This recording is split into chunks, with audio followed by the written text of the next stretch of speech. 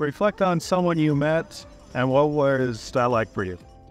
First comes to mind is like when we went to the like above San Andres on the mountain where like most people mm-hmm. like still keep the culture of like of like still speak Mayan.